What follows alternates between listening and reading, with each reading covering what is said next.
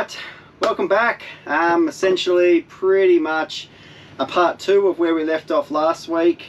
Um, yeah, we Thank you all for your beautiful, kind messages. Um, it's it's gone a little bit bigger than what we thought it it did. Um, heaps Just of people have viewed it. Heaps of people have um, messaged us, and the support out there is amazing. Absolutely, there's people um, reaching out, people, yeah. Thank you to everybody. Yeah, means a lot for all your support. yeah, like we said, we're not after any sympathy. It's just our story. Um, we're, We're not, not- blaming anybody else. It is what it is. It's happened. Um, it's just a story that we're telling you now. So, anyway, It's taken us a long time to be able to get the courage to tell this yes, story. it has been hard. Um, even getting all the messages from you guys, um, reading them, it hasn't really been that easy. I I tried to get back to as many people as I could. Um, but it blew up that much that I couldn't reply to everyone. So if I haven't replied to you, I do apologise. But um, we're moving on anyway. So All right. we're going to kick it off. How are we going to kick this off? All right, so we've got a few ant questions that you guys have asked that we didn't clarify in the last episode. So we'll start off with the snorkel. All right. Why didn't I have a snorkel on? I spend three hundred odd thousand dollars on a car and not put a snorkel on it. I put travel around Australia with no snorkel on it. First mod you should do to a car is put a snorkel on it. We know all Yes.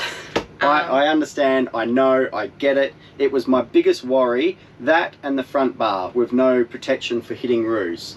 Um, those were my two biggest worries. Um, we weren't going to go through water to damage the car, um, but the road that we're on happened to have some on it after some heavy rains, and um, it, it gave way on us. And it can happen like that, and that's why we're telling you the story. Um, I've looked at so m- every- regarding the snorkel. yeah, so regarding the snorkel, everybody keeps saying how easy it is to put a snorkel on the car. Yes, I can get a snorkel made. Yes, I can get an airbox made.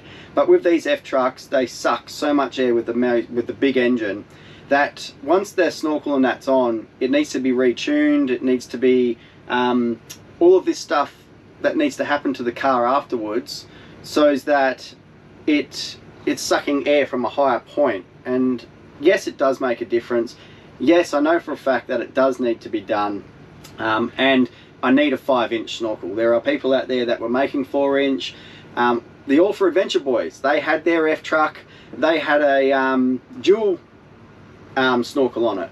I rang that company, and they turned around to me and said, "No, sorry, we're not doing that for the public at the moment."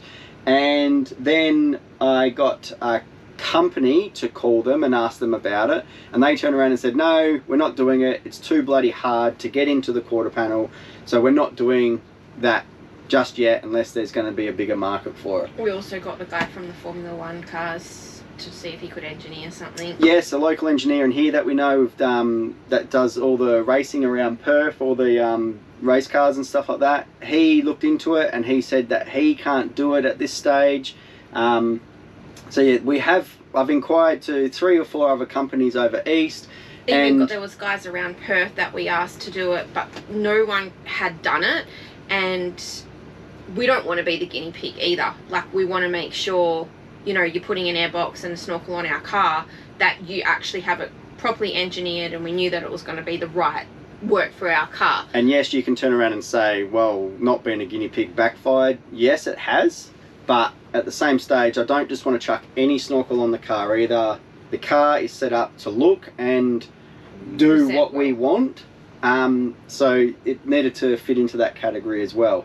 Um, and it needed to perform. So you chuck a four inch in there, the MAF sensor throws up codes, all of this sort of stuff happens because it's not getting enough oxygen. It's not just like you've got a 200 or 300 series where it comes with a standard snorkel, well, not a standard snorkel, but you can get, you the know, safari snorkel whacked on it or the stainless steel just whacked on it it's it's not as easy as that with these f trucks so we have actually we actually have found somebody that is going to do the snorkel for us and it, that's a carton. Left your phone on during a youtube. Sorry. um, yeah so we have found someone that does snorkels. And it was actually booked in three weeks after our accident. We were talking to these guys Yeah. and yeah it's it is it's happened. Yes i didn't have a snorkel on there. Yes that's on me. Um, but we couldn't get one, basically. So Yeah.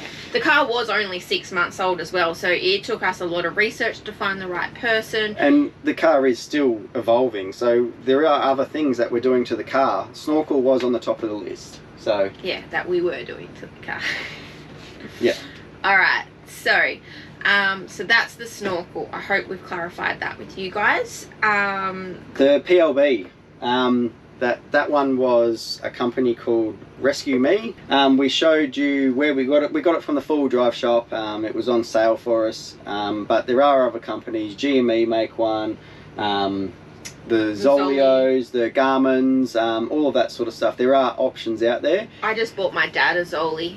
Is it Zoleo or whatever it yeah, is? whatever it Um, because he's heading off to travel around Australia, and he's he's very um technical savvy, and he's said it's really user friendly. The plan's great. You can turn the plan on and off when you're not traveling. So, yeah, so that's some good feedback for you. Yeah, but if you want to know anything, we have done a little bit of research in them, not a great deal. Um, so if you want any information on that, hit us up and we'll uh, give you everything that we've got about it.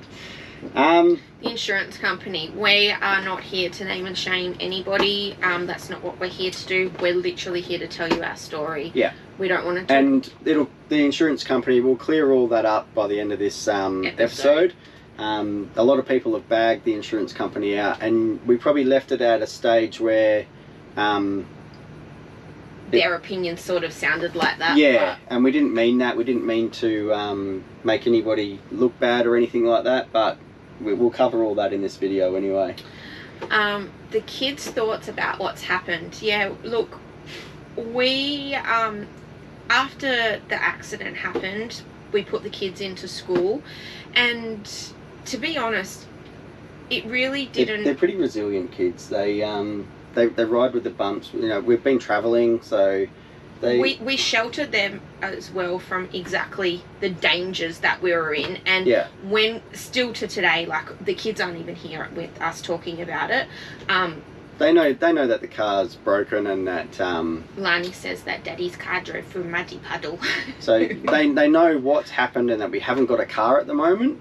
Um, so they they know the basics, but we didn't let them into too much of the dramas. of the fear of what we had the um, even what what we're going through now is um, we we try not to put any stress on them. We try not to let them know too much, and yeah so um yeah so that's the kids. We, we've had a pretty tough six months. Our middle child was quite ill um, diagnosed with a serious condition. And um, i guess that was more our focus over the last six months dealing with everything.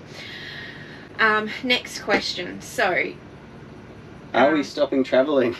Um, no. So we've, we've recently, so we're sitting in our home at the moment, our Lotus 23.3 foot triple bunk caravan.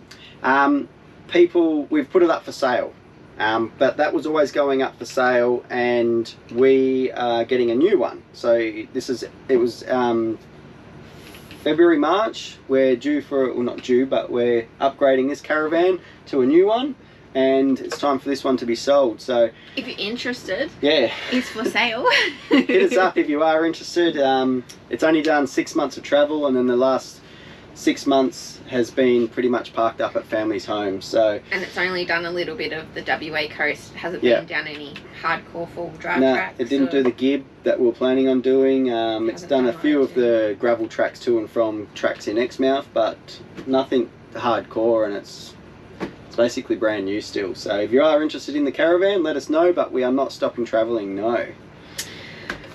All right, so we're going to actually head over to Victoria in February and then do South Australia and Queensland. But our plans always change, so Yeah, yeah. we don't know.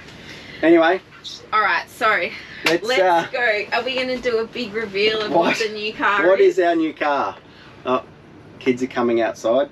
They might interrupt us. But um, what is our new car? Well, let's hold off for that for one second. Um, picking up where we left off last week. Um, so the insurance company rang us.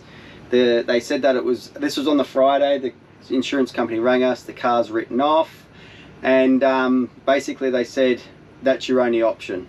And We verbally. we verbally accepted that and said, okay, if that's our only option, then um, Well, it wasn't our only option, but it was the option that. well, we could buy back the car and fix it ourselves, like we said. But um, so that's where we're at. Um, and they said, okay, no worries. We're going to send you all the paperwork. You should have it by Monday. Sign it. Once you've signed it, the car's officially written off, and um, we'll pay you out. And that's when we announced it on social media, and that the car was going to be written off. And heaps of people got in contact, like we said, and give us so much information. We we got a hold of a lawyer. Um, got a hold of other insurance company people. Um, just people, got gathered as much information as what we could, and we basically found out that um, we spoke to this lady. Um, I don't actually know her name, but if she's watching, she spent about an hour on the phone to us and gave us the world of knowledge that we're so grateful for. Yeah. We wouldn't be in this position if she wasn't there to support us through it. Um, so thank you very much if you're watching this. yeah, hundred percent. It was Um, amazing. so she said to us, listen, You can you, you can actually appeal this. you don't have to accept it. So basically, first thing Monday morning, um, we rang up the insurance company and I spoke to the assessors that were dealing with it, and I said, we don't accept it. Um, we don't believe that for what the car's worth and what its replaced value is, that the car should be written off. Well, the car was still running as well at this. Yeah, so the car drove. Like I said, the car was the still driving. The mechanic was driving it around. Um, so they said, okay, what do you want to do? And I said, I want a senior assessor going out there and somebody that knows something about four wheel driving. And they just happened to have the two guys there. So the senior assessor and um, another fella. And we also mentioned to them about the fact that I had rung them three weeks before saying that How much the car's worth and how worth much and we, they weren't willing to insure it for that. So how much we thought the car was insured for at the time and stuff yeah, like that. so you know that's what this lady said. You know, you have a leg to stand on. The the lawyers said, you know, they have that on recording. So we had to gather those recordings so that we could prove that this is what we asked for and this is what the car's valued at. Um, As soon as we got that senior assessor, he was fantastic. Yeah. He literally was there the next day. Was it that day? pretty much the next day, he rocked up with him and another fella who knows four wheel driving and at, actually follows us and knew us, knew the car before he even got there. Um, and they went through the car and he agreed with us. He said He said, um, I'd give I- you the keys and let you drive away with the car right now. There is nothing wrong with your car. There's no water inside. There's there's no water in the canopy. Um, there's no water from what the mechanic's saying in any of the diffs or anything like that. He goes, um, the turbo noise. Yes, we can replace the turbo, which you already have. If you weren't traveling Australia, I would hand you the keys right now, and you can take that car. And if anything goes wrong with it in the next year or so due to water damage, we'll replace it. So if the engine fails, we'll replace it. If um, the diff fails, we'll, we'll, we'll replace it. If the training fails, we'll replace it. Wheel bearings, um, anything. They said that um, it'll be all covered. So we were given a glimmer of hopes, thinking this is great. And then the next pretty much thing was um, we needed to find an engine. So we all stuck our heads down, and um, the mechanic it was really quite funny because the mechanic was on the phone, I was on the phone to people, Derek was on the phone to people. So we were searching in Australia, in America, in Canada. Um, he had the mechanic had all of his contacts. We were trying Harrison's F trucks, the people that we bought the car for, they were trying to source us um a engine. What's the GM? What's there was another company, company in that was- Queensland. yeah. Um, everybody was trying to help us source an engine for this car, and We got one. we found one. So very was it like the it was like the last of the one. well, they said that it was um, so it's full Ford factory motor. So it's straight from Ford factory. It's um, same model as mine. Everything's exactly the same. It's brand new. Never ever been run. It's not a reman where you um, get it rebuilt and blah blah blah. It's brand spanking new. Never ever been run. So we found this engine, and um, It was sent here in seven days. Within so from the moment that the assessor walked in and agreed with us, and we ordered the engine, paid for the engine, got it to Australia. we didn't. The insurance company paid for Yeah, the yeah, engine yeah. at this So, stage because so the insurance company, we got all of the uh, quote done for getting the motor out and in, and the mechanic did a proper um, quote, sent that through to the uh, insurance company. There was a little bit of to and fro, and not only did the engine swap cost come into the budget that we had, they had enough left over that they could fly the engine over Great. rather than um, rather than ship it.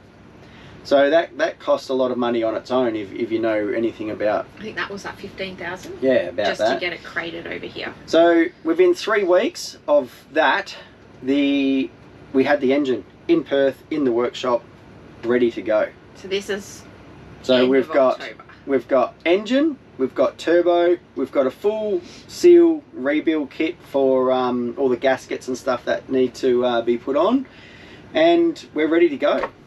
So at this stage, we've gone from cars written off to full go. The car was never ever written off, so we never accepted it. It's not on the write-off stat sheet because it never officially got written off. The insurance company have agreed to fix it, and we've got a brand new motor going in. So it's it's been an absolute whirlwind. Um, yeah, it's we're absolutely stoked. We did not want this car to get written off. we knew I mean we wouldn't accept a car like if we knew that the car had water damage and it was going to have problems later down the track and what have you not you know we're very knowledgeable about that sort of stuff we wouldn't accept it Yeah. so we knew that this car But knowing that it was just the engine that took a mouthful in, um, and we can replace that part, the whole lot, bang, in it goes. There's nothing else wrong with the car. So it's basically almost you could wind the clock down to zero, which we haven't done. It's it's done legitimately, um, but brand new engine, zero kilometers on it, and um, I mean the car's only done 15,000 Seventeen thousand kilometers the car done, and um, so the chassis and everything else, suspension, everything's done seventeen thousand kilometers, and the engine now is back at zero. the kilometers. mechanic's checked the diff he's checked Yeah, everything so he's run the diffs, oils wheel bearings, tranny, um, transfer case. Um, what else can there be? Um, fuel, um, all of that. Everything is 100%. it's it's all been assessed, so it's been pulled apart, um, like covers off, inspected properly, and everything is hunky dory. It's literally just the engine. So Yeah. and there was no water in anything which was fantastic and the engine, so some lucky bugger is going to get basically a brand new engine, seventeen thousand kilometers, sent back to America that they have to rebuild. Uh, as a reman, which reman is they get my old engine, they put all new parts in there, and then they sell it as a reconditioned engine. That's all a part of the swap with the new engine. And um, so yeah, they're going to get basically a brand new engine with a little bit of water that's been in there. And we've inspected the old engine, and it doesn't look that bad. To be honest with you, it probably could have kept running, and it probably could have kept going. Um, from from the mechanics report, um, that is. So. And from the insurance as well yeah yeah, so that's um that's So the new car is the, The old old car. um and we, We- didn't we didn't mean to play it out like um It wasn't we're getting a new car and stuff like that. It was just um it's it's- how the story is folded out. so it it's happened a lot spread out than what our quick rendition is from last week and this week. Um, we were sitting on the edge of our seats for quite some time, hoping and praying that uh, this is the outcome that we're going to get. So the um, the engine rocked up within three weeks. So three months of the insurance company not um, rocking up to the car and not getting it um, sorted out. So that was wasted. Then within one month, we had everything ready to go. So um, this is when I got frustrated. So this is where I've gone, okay, this isn't cool. I'm not happy with. So the um, the engine's here and all the parts are here. We got told by the mechanic that as soon as it gets in, we'll have it stripped, ready to go, so that you can hit the road again. That was the whole idea of getting the engine flown over because everything was going to go bang straight in. And the engine's been here for eight weeks, and It's the 25th of January. it's still not finished. So the mechanic kept telling us each week, "Yep, I'm going to start this week. Yep, I'm going to start next week. Yep, this is the week. Yep, this is the week. Yep, then this is the week. Christmas and New Year's came. Christmas and New Year's come, and admittedly, he had other jobs in process, and it only takes one part to uh, not be there, and then you have to wait weeks on end for parts to get there. So that's basically what's happened. Is um, Oh no, we have to talk about what's happened with the engine now. Yeah, no, that's that's where we're at. So the um, the mechanic now, so the car sits. I'm going to chuck some photos up that um, that we've that we've got. So to take the engine out, really, this job should be a three week job, um, maximum. You can do it in a lot less, but I just allowed three weeks. And it, like I said, it's been eight, and this is the stage where we're at. So to get the engine out of F trucks, the whole well, I think it's all American trucks, but I could be wrong. But the whole cab gets lifted off. So then you're just sitting with a chassis, an engine, um, tranny, and transfer case, and then all the running gear underneath. So the whole cab has to be taken off. I'll, I'll post up some pictures there of it. And the new engine sitting in its mounts, attached to the transmission, um, that gets taken out. The new engine gets bolted in, transmission, everything gets plonked back in, and then um, all the stuff on top of the engine, so pulleys and um, all the exhaust and everything like that, that was originally on the on the engine, gets all put back on. Cab comes back down, everything gets hooked up and Everything's hunky dory. test driven. So where we're at at the moment is the old engine's been pulled out, the new engine's sitting in, and we've got the so we brought the engine with the seal kit and gasket kit to go with it so that everything can be bolted up. And last week the mechanic goes to bolt up the exhaust manifolds and the wrong exhaust manifold gaskets were sent to him. They were meant to be for this engine, but they have slightly changed from the old engine, he said, and they sent us the old ones.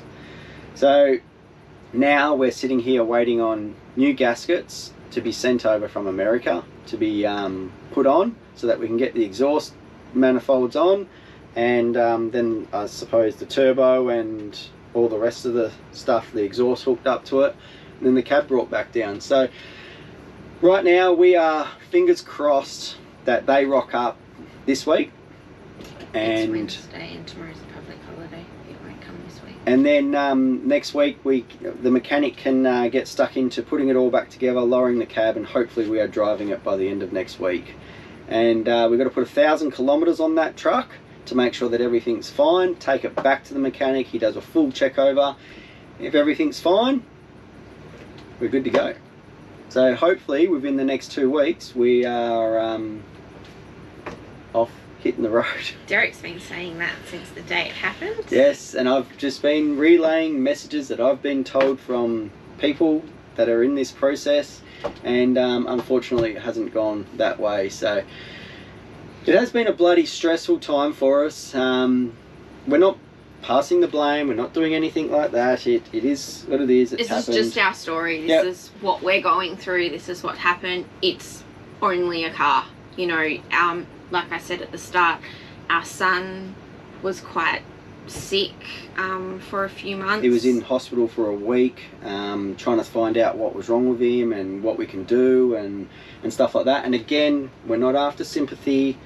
It's just just our story. We're not uh, whinging or anything like that. It is it is what it is. So there are worse things that have happened um, than our car getting done what it happened, and there's a lot more other things in the world that are way more important than that.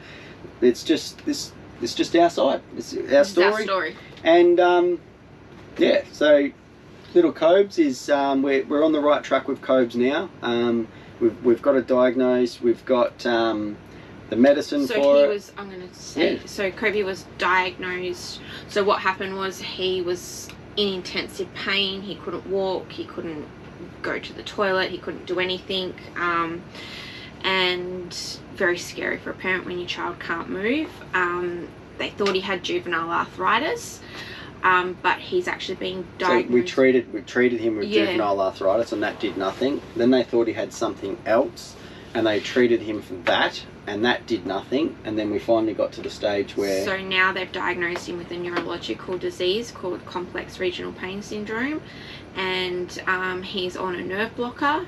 Um, so it's a it's a nerve a neurological disease. Um, it can be very debilitating. Um, so just on the weekend we went skiing and he got a little bit of he pain got again. pain and the the anxiety that that brought me was really scary.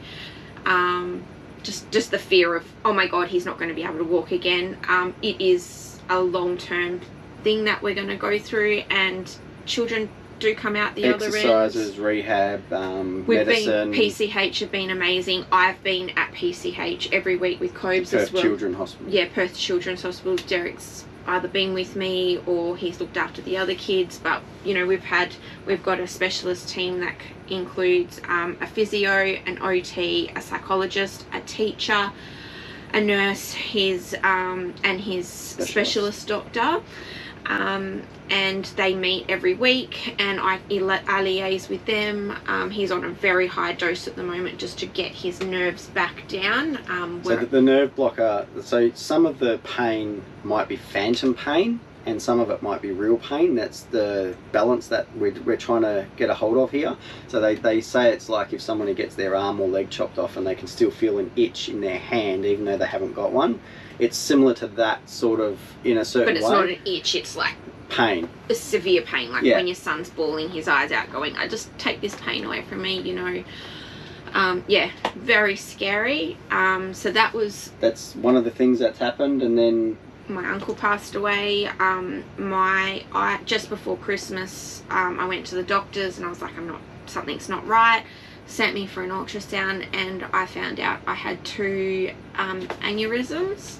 Um, they operated on one straight away. straight away. I got a phone call as I left the doctors. We're booking theatre for you. I was rushed in for an emergency to get it coiled.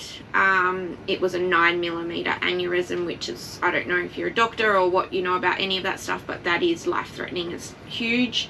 Um, and I've also got um, a bit of I've got thrombosis as well.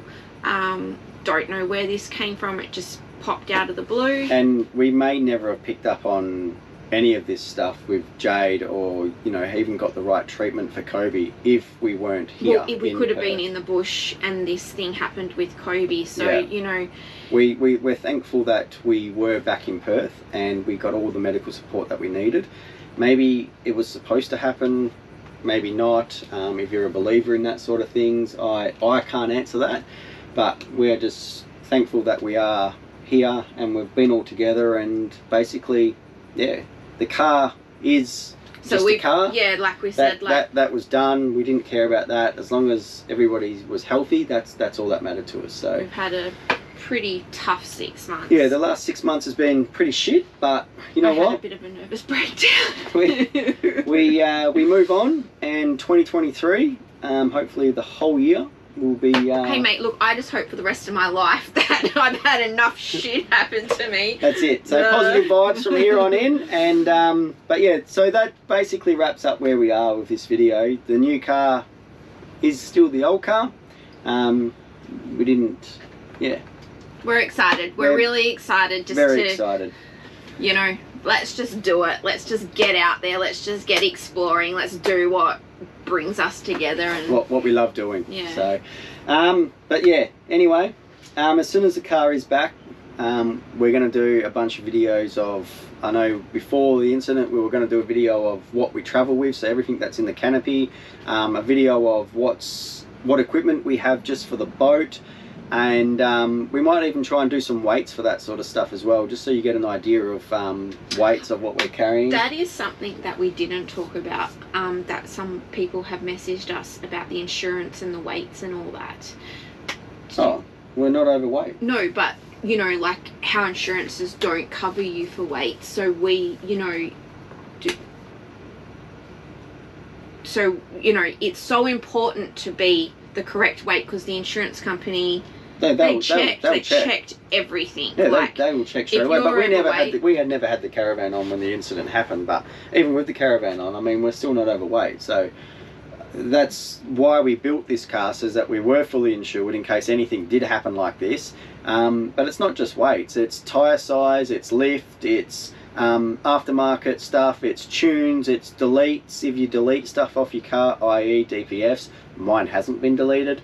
Um, that's why we spent money on this car so that we were 100% legal to be covered by insurance. So lots of you asked us about it, saying, you know, um, if you're not legal, you know, if you're overweight, you know, and so say you've got a chopped 200 and you've got five of you sitting in the car, and then you've got a full canopy, you're overweight. Your insurance company's Oh, not. not necessarily. You, there's a potential chance that you could be overweight. Um, it doesn't take long to get to four and a half ton, especially with a car that weighs close to four ton with the canopy and that on there.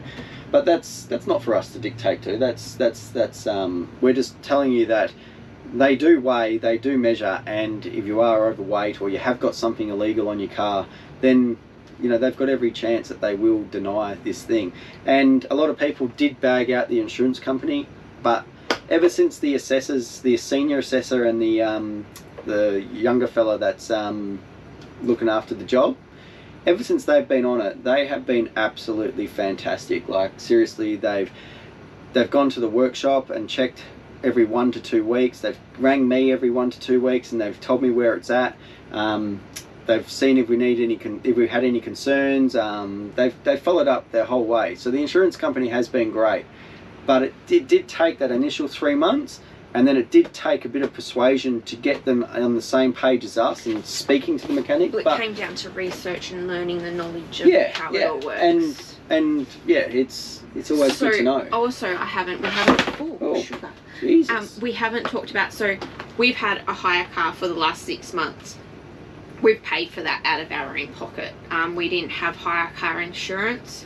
I highly, re- but in saying another that, mistake by us. We in know. saying that they only cover fifteen hundred dollars of hire car insurance as well, most companies. So we probably you probably wouldn't have been covered for the whole six months either. But anyway, so we've had to pay for a hire car for the last. But the insurance months. company have helped us out with that, so they've given us a discount um, through their hire car company. So you know, again, they've gone, they've, they've helped us out again. So we had to pay for our car and van, or the van to be towed, the car to be towed. We're, we're out of pocket still a good, at the moment, currently probably forty-five thousand dollars. Um, but we'll get some of that back once the job's finished because of the parts that we brought. So we'll get that money, some of that money back. But um, yeah, we've that's that's on us. We know that. We're um, we're learning. We uh, didn't expect this to happen, as nobody does with an accident. But anyway, we're going to leave hope it there. we've covered everything. If you have any more questions, um, put them in the comments, and we will try and get back to you. Do you reckon next week you'll do a bit of a video of maybe having a look at the car? Well, that's it. If you want me to do a video of anything, um, drop it in the comments and uh, I'll do a video of that. Um, if you want to see where the car's at, and Do you I'll, want us to- but I've got some pictures, so I'll post them all up. But yeah, it's just tell, let us know what video you want us to do while we're um, while we're sitting here waiting for this car. Cool. Within reason, because obviously we've we've only got a small little hire car. We can't do too much except for what we've got on us. So yeah. Yeah. But anyway, um, thanks for watching. Thanks for all your support. Um, thanks for everybody with those beautiful, kind messages. Cheers, guys. See you Have a next. one. See you on the next one. See you later.